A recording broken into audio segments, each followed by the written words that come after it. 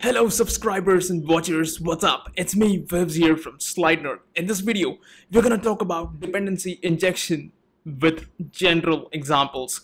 What is dependency? What is injection? What happens without it? What happens with it? And why do you need it? Let's take an example where you have two objects A and B.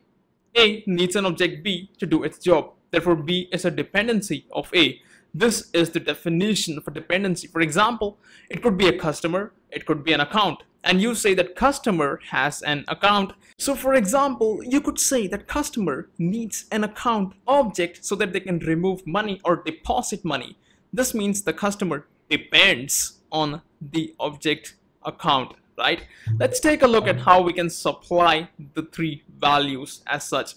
You can either create the dependency, which would be create the account in, inside the customer class or you can fetch the account object say from a database or a cloud storage service or you can get it simply as an argument for your method or constructor inside the customer class. Now we are going to take an example and find out what is the best way to do it. So what is dependency injection? Now that you understand what is a dependency, it simply means letting a third person create the object that you need. For example, the customer will not create an account of object inside its constructor or method. Rather, it will rely on a third party to supply the right object at the right time. And why would you need a third party? Why can't you just do the way you do things? You will understand that when we go through a nice example that shows what happens without dependency injection versus how things progress.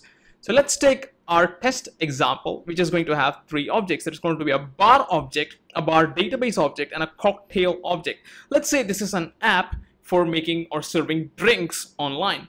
And you need a bar object which would do something like this. You can say bar equals to new bar, and you can simply say bar dot get cocktail, supply the name of the cocktail, and you get the drink. And let's say the customer will go further and order this drink so that it can be delivered to them so as a newbie programmer, my get cocktail method is going to look like this. It will take a string argument, it will construct the bar database object here, and then it will use that database object to call get cocktail, pass the name that we supplied in the method, get a cursor, and from that cursor, create an object of the cocktail and return that.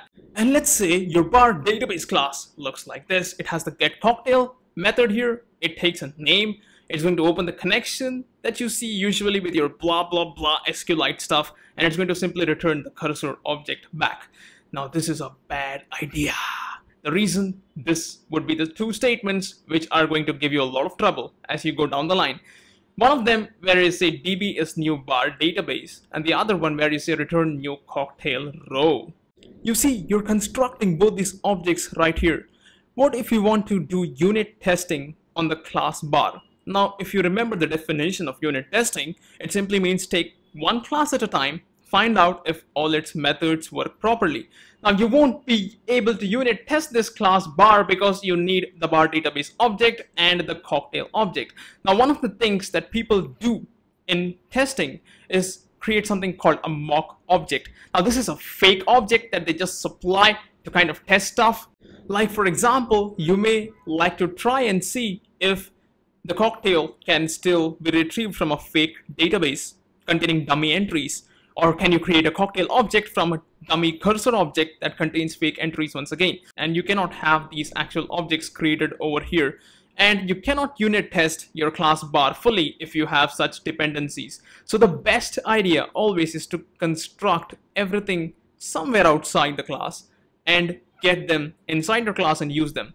Let's take a look at the first approach where we can do things a bit slightly better. Now this is called setter injection and you will understand why it is called that way because notice the code for the bar class here. Here we have this method called set bar database. Now I have taken the bar database object from outside and have initialized it and then I used that over here and I have supplied the cocktail and finally constructed it. So in this approach, the person doesn't create the bar database object within our get cocktail method, somewhat loosening things up. But there is a problem with this approach. In fact, two problems.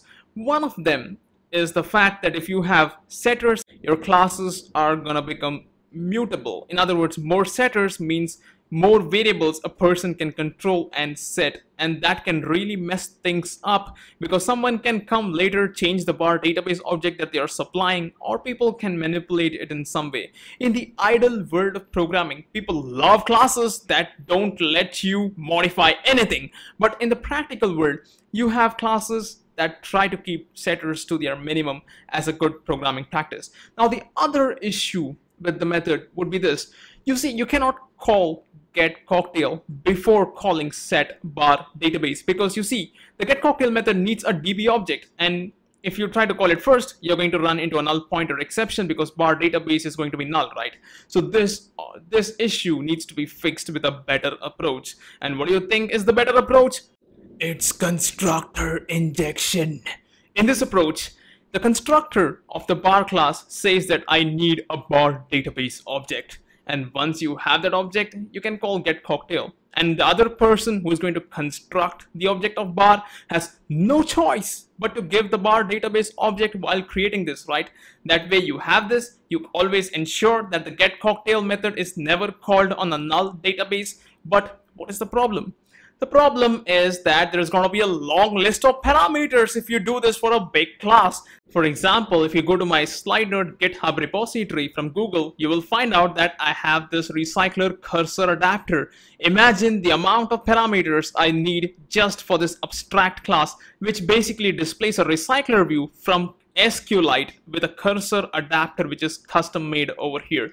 Now this would require a lot of parameters if we were to use constructor injection. Now this is hardly like 200 something lines but if you talk about a bigger class like having a thousand lines and having at least 20 30 dependent objects then your constructor list is going to be massive. And that is not something you want to do to your user. In other words a person trying to create an object of recycler cursor adapter will have to pass at least 30 different parameters if your constructor list is that big. So the problem with this approach is this, there are too many parameters, setter injection seems to be better in some places, and most importantly, if you're gonna ask the person to put 30 parameters in the constructor, they're gonna be like, why the hell? Why? There are so many parameters for this constructor. And they're gonna get pissed off and try to find a better library, right? Now I'm sure you guys have been seeing this return new cocktail at the bottom and you must be thinking, hey, Vivz, you did not address this at all. You're still trying to create a cocktail object over here. So let me show you some fixes for that as well. So if you go down and if you take a look at the other slide, here I have simply taken the cocktail object as well as a parameter using setter injection idea. And here I simply set the row on it or cursor on it and return it back. Now here is the problem with this approach.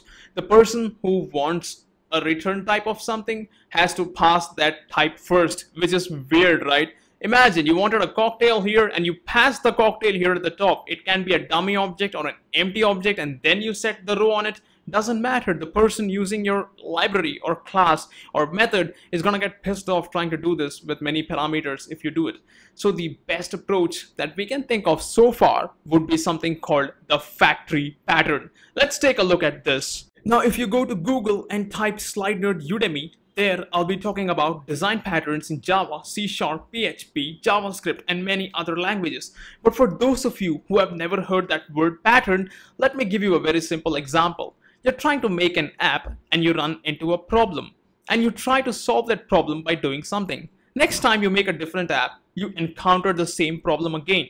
Thousands of people like you from across the world, they encounter the same problem every time. And then an expert decides to take the problem and try to make a standard solution. Now this solution is tested in hundreds and thousands of ways until everyone says, okay, if you have this problem, then this must be the way you solve it. And that is what a pattern is in any programming language. So we are going to take a look at the factory pattern, which simply means if you want to create an object, create a class called its factory. Inside that class, say drink factory in our case, we have the get cocktail method here, which is static and it is public it's going to construct the object of cocktail whenever you need it. And you can simply say drink factory dot get cocktail.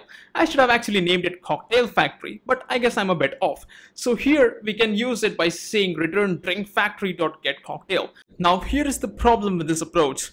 If you have 10 objects in your app or project, you're gonna need 10 factories. That's how you will start thinking. And then you need to make those methods that give those objects and then there are many other things that you have to think about like how you call them like here you say drink factory.get cocktail where you call them and whether it should be a singleton whether it should be reference counted or track how many objects were created and so on now all these problems are handled as you go one step further into dependency injection. Now when it comes to factory pattern, you're the one who's going to do all the work. But when it comes to dependency injection, it is going to take care of creating the object. All you have to specify is where you need the object like account or bar database or cocktail and you need to specify how to create that object and DI will take care of rest of the work. In other words, all this coding part for doing this is not a part of your project. The dependency injection libraries handle all that work. And we're going to take a look at the dependency injection libraries on slidenerd.com, which would be Butterknife, Dagger2, Android Annotations, RoboGuice, and several other libraries that offer this feature. Now, if you notice, I have not given you an example here of how our cocktail example and bar database would look like with dependency injection because it changes with the type of library being used. One more thing, DI is not just specific to Android, it works on Angular JS, PHP, JavaScript, and several other languages that have a library and have objects in them. So in the upcoming videos on slidenerd.com, I'll be talking about one or more of these libraries with respect to Android for implementing DI. In the meantime, subscribe to our email list on slidenerd.com so that we can notify you of the latest videos and posts that we guys are making out here. And don't forget to Google us out by saying Slidenerd Udemy, Slidenerd Twitter, and Slidenerd Facebook for social accounts and all the code on Slidenerd GitHub. If you like what you saw, please like this video, share this video, subscribe to Slidenerd, and let us know your thoughts in the comments below. Thanks for watching. I'll catch you guys in the next video. Have a nice day.